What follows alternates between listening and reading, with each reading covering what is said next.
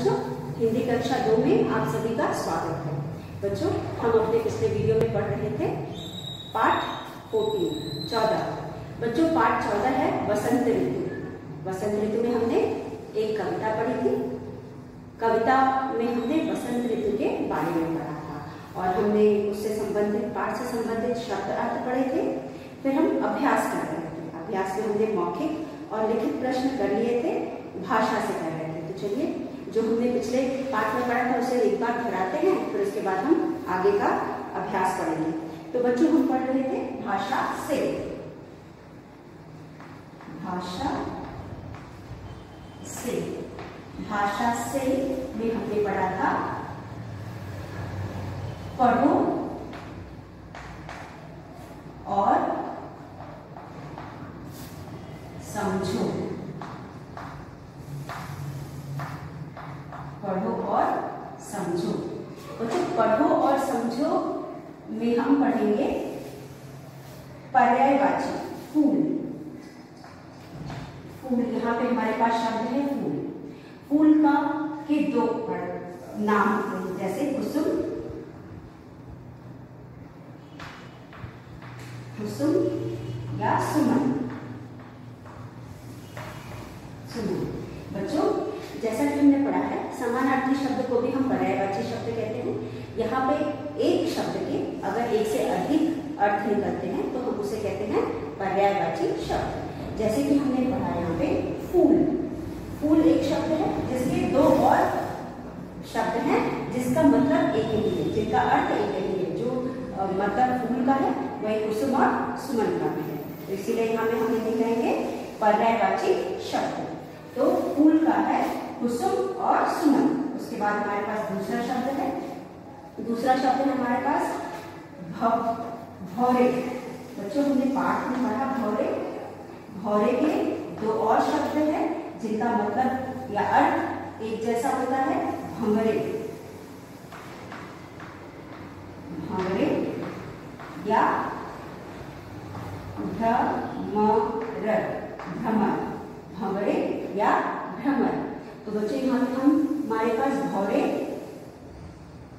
का दो और शब्द है, जिनका भी मतलब भौरे ही होता है, और एक से ज़्यादा अर्थ होने वाले शब्द को हम कहते हैं पर्यायवाची शब्द।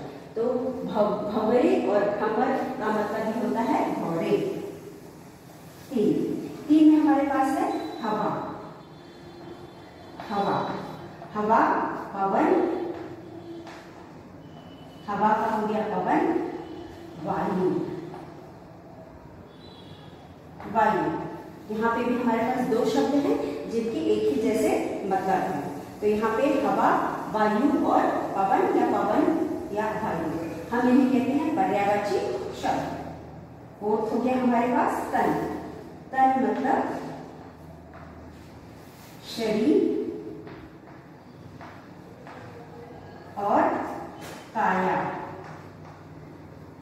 काया तन मतलब शरीर और काया एक शब्द के अगर एक से अधिक मीनिंग हो तो उसे हम कहते हैं पर्यायवाची शब्द।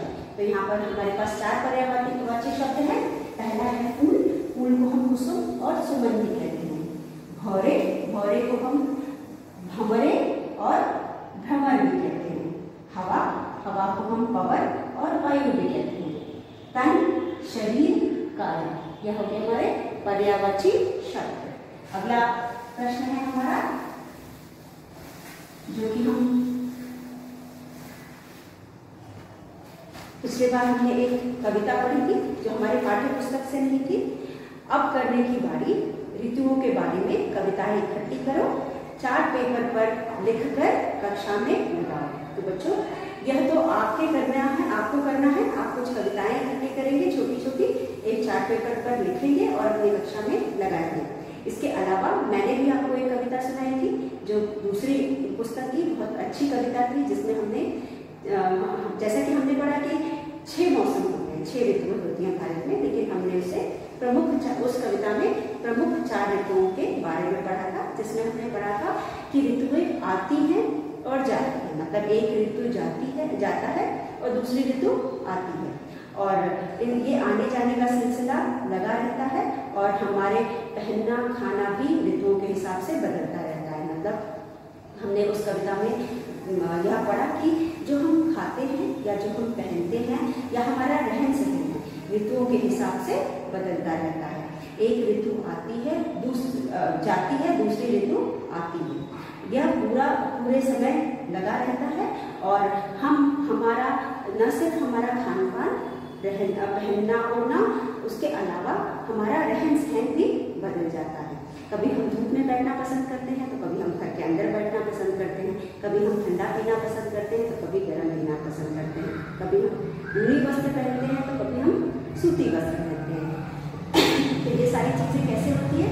यह सारी चीज़ें हमारे ऋतुओं के हिसाब से बदलती ऋतुओं के हिसाब से हमारा खाना पीना और रहन सहन भी होता है। तो यह हमने अपनी कविता में पढ़ी थी, जो हमने दूसरी पुस्तक में पढ़ी थी। तो बच्चों, हमारा अगला प्रश्न था, ख, चित्र देखकर तीन तीन वाक्य लिखो। हमारे पास यहाँ पे कुछ चित्र दिए गए हैं, जिसमें हम चित्र देख करके उसके बारे में लिखेंगे।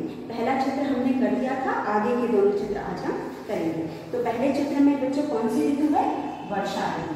पहले चित्र में आप देख सकते हैं, यहाँ लिखा है वर्षा ऋतु। वर्षा ऋतु। तो बच्चों, वर्षा ऋतु में हम क्या क्या करते हैं? वर्षा ऋतु में हम बारिश होती है, जैसा कि हम जानते हैं। इसके बाद चारों तरफ़ हरियाली होती है। उस टाइम वो भी, जो मौसम होता है, बारिश का, किसान बारिश का इंतज़ार करते हैं। उसके बाद अपने फ़सल लगाते हैं। और वैसे भी बारिश होने की वजह से चारों तरफ़ हरियाली होती है। फिर बारिश से बचने के लिए हम छाता लेकर के घर से बाहर निकलते हैं, या रेनकोट भी पहनते हैं। और हमें कुछ अच्छी अच्छी चीज़ें खाने की, चटपटी चीज़ें खाने का मन करता है। गर्म चाय या कॉफ़ी पीने का मन करता है जब बारिश होती है तो ये सारी चीज़ें हम ऋतु में करते हैं। उसके बाद जो कि हमने पिछले वीडियो में भी पढ़ा। पहला, वर्षा ऋतु में हम वर्षा ऋतु में वर्षा होती है या बारिश होती है और उसके बाद चारों तरफ़ हरियाली होती है और हम घर से बाहर निकलने से पहले छाता और रेनकोट लेकर के तब निकलते हैं। उसके बाद बच्चों, अब हम करेंगे आज का अभ्यास। आज के अभ्यास में दूसरा चित्र। दूसरा चित्र जो आपके सामने है, आप इसे देख सकते हैं। इसमें आपको क्या दिखाई दे रहा है? बच्चों, इस चित्र में आपको कौन सा मौसम दिखाई दे रहा है? जैसा कि हम देख रहे हैं, एक बच्चा है जिसने टोपी पहना है। यहाँ तक कि सूरज को भी टोपी पहनाया गया है। टोपी पहनाने का मतलब हम टोपी कब पहनते हैं? टोपी हम शरद ऋतु में पहनते हैं, यानी सर्दियों के मौसम में पहनते हैं। तो यहाँ पे इस चित्र में को क्या समझ में आ रहा है? हमें ये समझ में आ रहा है कि यह शरद ऋतु है। और शरद ऋतु को हम सर्दी भी कहते हैं। अब यहाँ पे हम सर्दी में क्या करते हैं, वो लिखेंगे तो सर्दी में हम क्या करते हैं, बच्चों? दूसरा चित्र है सर्दी का। तो सर्दी में हम गर्म कपड़े पहनते हैं। सर्दी में हम स्वेटर वगैरह पहनते हैं और उसके बाद हमारा गरम गरम चीज़ें खाने का मन करता है। और उसके बाद क्या करते हैं हम? ठंड का मौसम होता है, ठीक है? तो चलिए देखते हैं। पहली बार सर्दी में ठंड का मौसम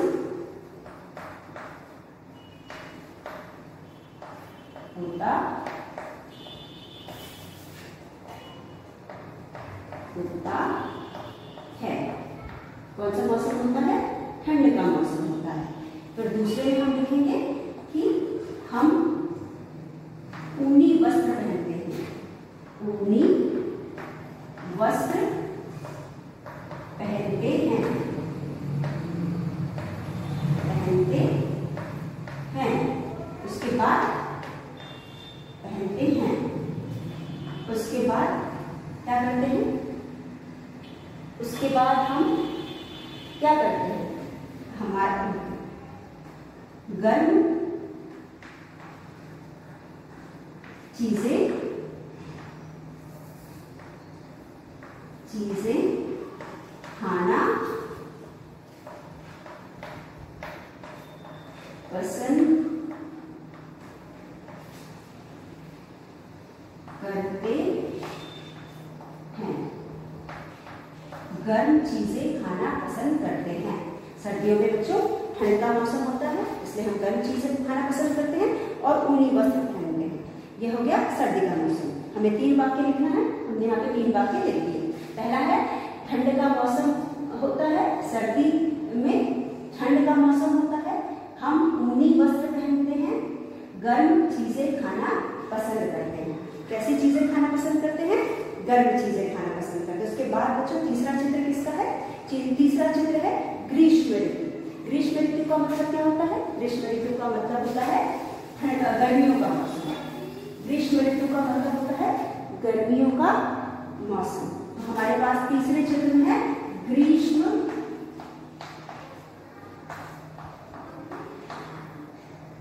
ऋतु। ग्रीष्म ऋतु में बच्चों हम ऊनी वस्त्र पहनते हैं। गर्म मौसम जो होता है बाहर बहुत गर्म होता है। ग्रीष्म पहला वाक्य लिखेंगे ग्रीष्म ऋतु में बहुत गर्मी होती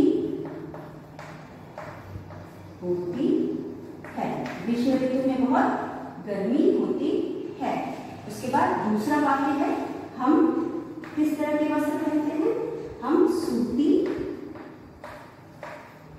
हम सूती हल्के के रंग वाले वस्त्र पहनते पहनते हैं हम कौन से वस्त्र पहनते हैं हम सूती हल्के रंग वाले वस्त्र पहनते हैं उसके बाद ठंडा ठंडा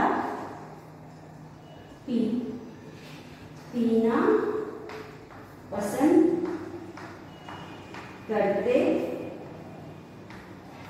ए, करते हैं। हम कैसा पीना पसंद करते हैं? ठंडा पीना पसंद करते हैं। ठंडा पीना या खाना पसंद पीना या खाना पसंद करते हैं। तो बच्चों हमारा जो तीसरा इसमें हमारे पास ग्रीष्म ऋतु है। ग्रीष्म ऋतु में हम ग्रीष्म ऋतु ऋतु में, ग्रीष्म ऋतु में बहुत गर्मी होती है। हम सूती, हल्के हल्के रंग वाले वस्त्र पहनते हैं। ठंडा, पीना पसंद करते हैं। पीना या खाना दोनों पसंद करते हैं। तो यह था हमारा तीसरा चित्र। तीसरे चित्र में हमें गर्मी का मौसम दिखाई दे रहा है, क्योंकि बच्चा क्या कर रहा है, कोल्ड ड्रिंक पी रहा है और पंखा भी चल रहा है। तो इससे हमें पता चलता है कि कौन सा मौसम है? यह है गर्मी का मौसम। तो बच्चों, यह था हमारा पाठ चौथा। इस तरह से हमने यह कविता बसंत ऋतु खत्म कर ली है। हम अब आगे का पाठ पढ़ेंगे। आगे का पाठ पढ़ने से पहले बच्चों, हम कुछ विचार करेंगे। बच्चों, आपने खरगोश और शेर की कहानी सुनी है? क्या आपने खरगोश और शेर की कहानी सुनी है, जिस कहानी में अगला पाठ पढ़ने से पहले हम एक कहानी सुनेंगे। बच्चों, क्या आपने शेर और खरगोश की कहानी सुनी है? कहीं ना कहीं सुनी या पढ़ी तो होगी। चलिए, एक बार फिर उस कहानी को पढ़ते हैं। एक जंगल था। जंगल में एक शेर रहता था। जैसा कि हम जानते हैं, शेर बहुत ही बलवान होता है, ताकतवर होता है और दूसरे जानवरों पर अत्याचार करता है। तो इसी तरह इस कहानी में भी जो हमारा शेर है, जिसे हम जंगल का राजा कहते हैं, यह राजा भी, यह शेर भी बहुत ही अत्याचारी था। ये जानवरों पे बहुत अत्याचार करता था। और जब मन होता था, किसी को भी पकड़ करके मार देता था, खा जाता था तो उससे जो गाँव, उससे जो जंगल में जानवर रहते थे, वो बहुत परेशान थे। तो बच्चों, उन्होंने सोचा कि क्यों ना इस परेशानी का कुछ हल निकाला जाए। क्योंकि रोज किसी को को भी पकड़ करके खा जाना कुछ अच्छा नहीं लगा उन्हें तो फिर सारे जंगल में रहने वाले जानवरों ने एक सभा बुलाई या मीटिंग रखी। उस सभा में उन्होंने विचार किया। क्या विचार किया? उन्होंने यह विचार किया कि ये जो हमारी परेशानी है कि रोज किसी न किसी जानवर को कभी एक, कभी दो, जैसा उसका मन करता है पकड़ के वह खा जाता है तो इसका कुछ हल निकाला जाए। तो सब लोग एक निष्कर्ष पर निकलते हैं कि क्यों ना हम खुद से हम में से एक जानवर रोज शेर के पास चला जाएगा और वह उसे खा लेगा। इससे ये होगा कि कम से कम जानवर को पता तो रहेगा कि आज किसकी बारी है और एक ही पर वो सीमित रहेगा। तो यह सोच करके वो लोग, सब लोग यही निष्कर्ष निकालते हैं कि ठीक है, अब हर रोज एक जानवर शेर के पास जाएगा और शेर उसे खा लिया करेगा लेकिन फिर अब निष्कर्ष तो इन्होंने निकाल लिया, लेकिन अब इसको शेर को भी बताना था। तब वो सब लोग मिलकर के शेर के पास जाते हैं और कहते हैं कि ऐसी ऐसी बात है, भाई हमने सफ़ा किया, हम सबने और हमने यह निष्कर्ष निकाला कि आपको हमारे पास आने की ज़रूरत नहीं है। आपको क्यों इतनी मेहनत करेंगे, हम आपके पास खुद ही, हम में से एक जानवर रोज आपके पास आ जाया करेगा और आप हमें खा लेना तो शेर कहता है अच्छा ठीक है। शेर भी सोचता है कि मुझे तो मेहनत भी नहीं करेगी नहीं पड़ेगी। आराम से मेरे पास एक जानवर आएगा, मैं उसे खा कर अपना पेट भर लूँगा। और फिर उसके बाद फिर यह सिलसिला शुरू हुआ। हर रोज एक जंगल से जानवर शेर के पास जाता था और शेर उसे खा लेता था। तो कुछ दिन तक यह चलता रहा। फिर बारी आई चालाक खरगोश तो बच्चों, जैसा कि हम जानते हैं, खरगोश बहुत चालाक होता है। तो खरगोश ने कहा शेर शेर के पास गया खरगोश।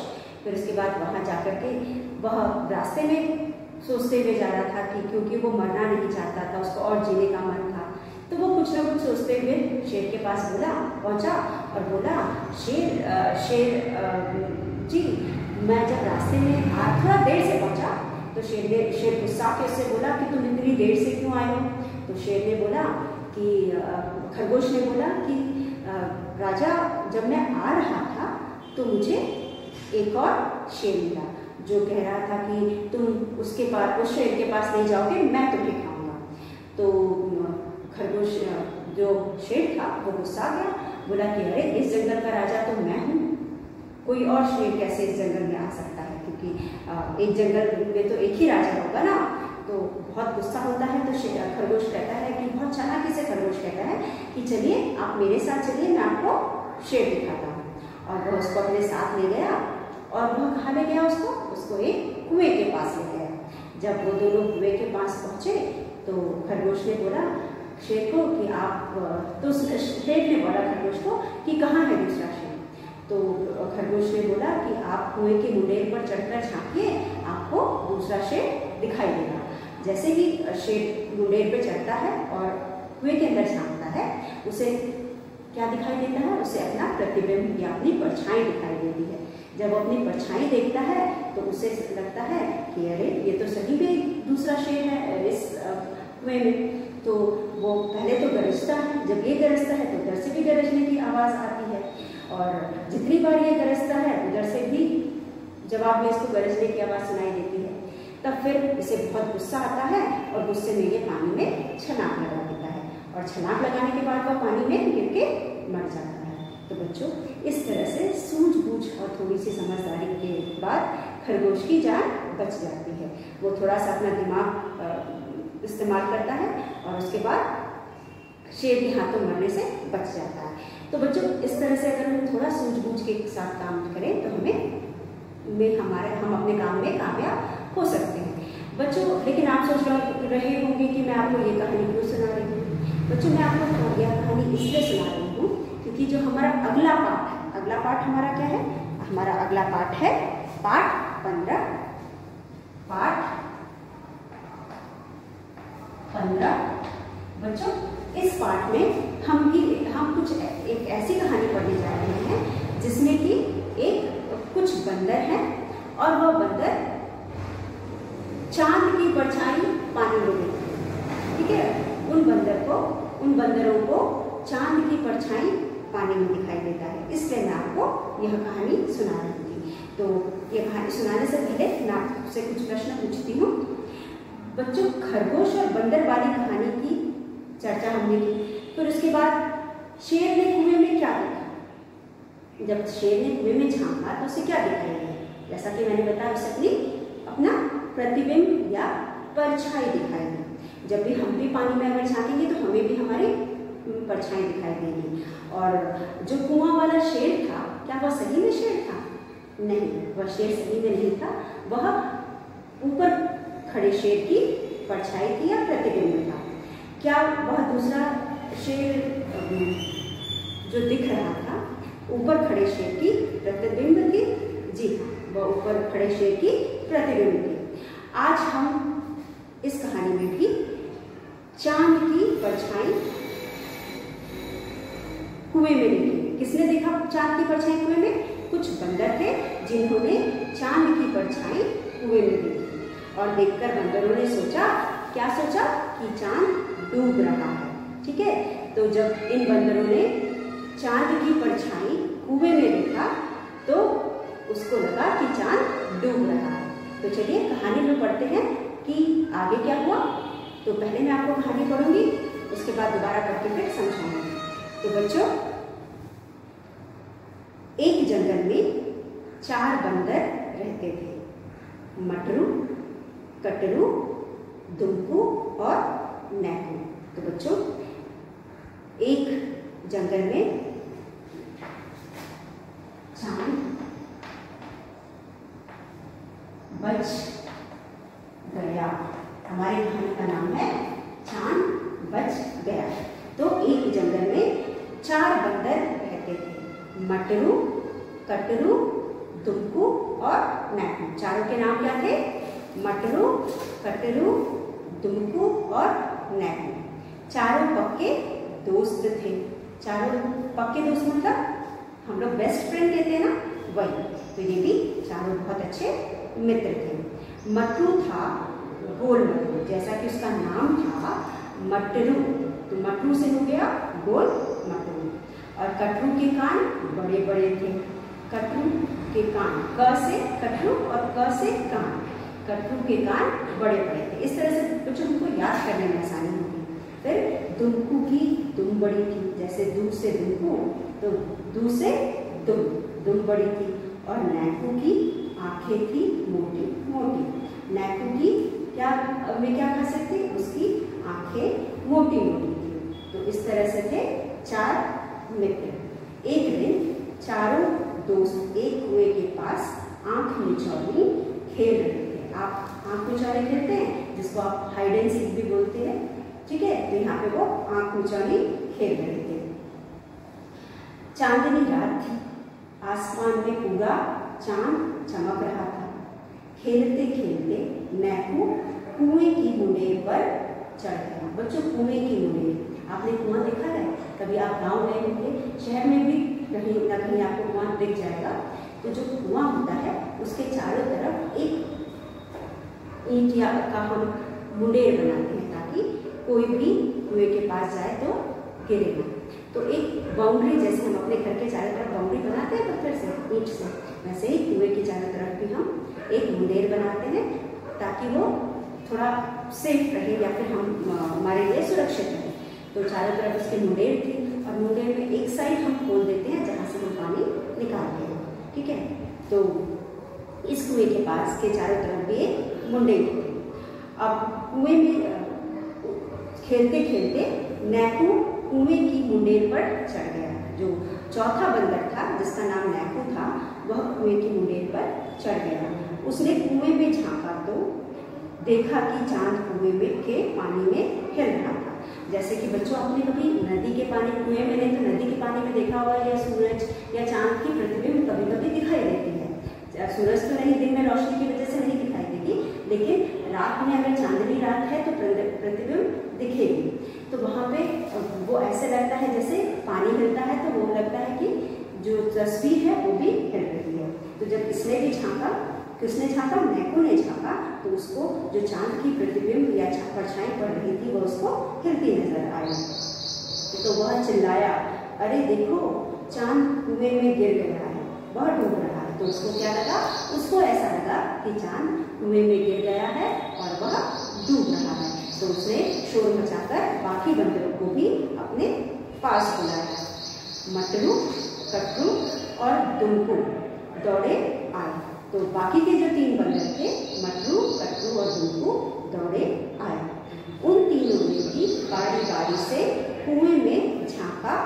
अरे, चाँद तो सचमुच पानी में डूब रहा है। अब क्या करें? इसे कैसे बचाएँ? तो अब उन्होंने कहा कि अरे, उन्होंने देखा तो उनको भी चाँद डूबता हुआ नज़र आया। तो उन्होंने कहा कि अरे, चाँद तो सचमुच पानी में डूब रहा है। अब क्या करें? इसे कैसे बचाएँ? चारों चाँद को डूबने से बचाने का उपाय सोचने लगे। तो अब जब उन्होंने उनके सामने परेशानी दिखाई दी तो उसको, उससे बाहर आने का वह उपाय सोचने लगे। उसके बाद अचानक तुमको चिल्लाया, चाँद को बचाने का उपाय मिल गया। इसको किसने चाँद को बचाने का उपाय ढूंढ लिया? तुमको ने।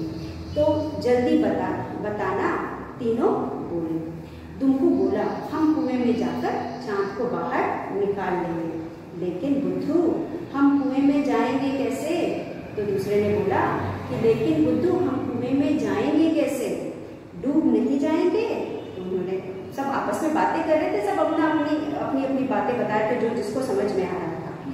नैकू सिर पर हाथ रखकर बोला दुम्कू नैकू का हाथ पकड़कर बोला, देख नैकू नैकू कुएँ में पानी काफ़ी ऊपर है।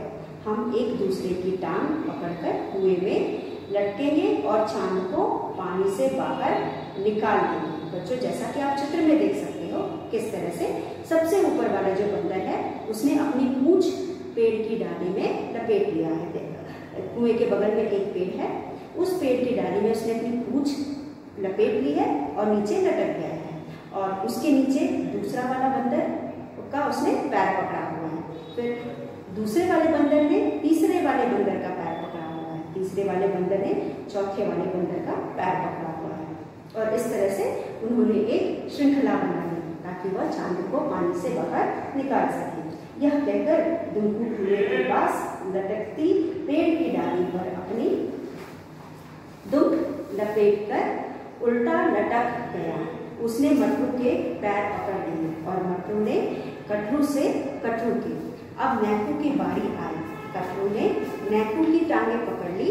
वह भी उल्टा लटक गया। उसका हाथ पानी तक पहुँच गया।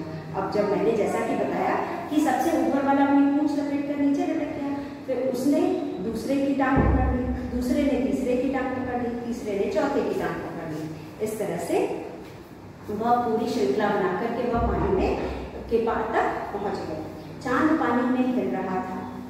चाँद क्या कर रहा था, पानी में हिल रहा था। नैकू चाँद को अपने हाथों में पकड़ने का प्रयास करने लगा, पर चाँद बार बार हाथ में से फिसल जा रहा। था तो बच्चों, सबसे नीचे कौन था? नैकू था, जो पानी तक पहुँच गया था। जैसे ही वो नैकू उस चाँद को पकड़ने की कोशिश करता, वो उसके हाथ से निकल जाता। नैकू चाँद को अपने हाथों में पकड़ने का प्रयास करने लगा, पर चाँद बार बार हाथ में से फिसल जाता नैकू ने पानी में ज़ोर ज़ोर से हाथ मारते, मारने शुरू किए। ऊपर वाले सभी चिल्लाए, जल्दी कर नैकू हमसे और नहीं लटका जाएगा। मतलब ऊपर वाले जो नैकू के ऊपर तीन बंदर थे, उन्होंने ज़ोर से चिल्लाया कि जल्दी कर नैकू नहीं तो हम ज़्यादा देर तक इस तरह से नहीं लटक पाएँगे। धीरज धरो, किसने बोला? धीरज धरो, किसने बोला? नैको ने बोला, धीरज धरो। बस अभी निकालता हूँ चाँद को नैको ने कहा, वह दोनों हाथों में पानी भर भर कर ऊपर उछालने लगा। तभी उसकी नज़र ऊपर आकाश पर गई। कुएँ की सीध में ठीक ऊपर बादल में चाँद चमक रहा था। नैकू खुशी से चिल्लाया, बच गया चाँद, बच गया। देखो, मैंने उसे ऊपर उछालकर आकाश में पहुँचा दिया है। तो बच्चों यह थी कहानी हमने आज आधी कहानी पढ़ी है। अगले का आ, अगला आधा भाग हम कल के वीडियो में पढ़ेंगे। बच्चों जितना भाग हमने आज पढ़ा है उसको आप एक बार पढ़ लेना और जो नीले रंग से शब्द दिए गए हैं उनके अर्थ भी देख लेना। तो बच्चों आज के लिए बस इतना। धन्यवाद।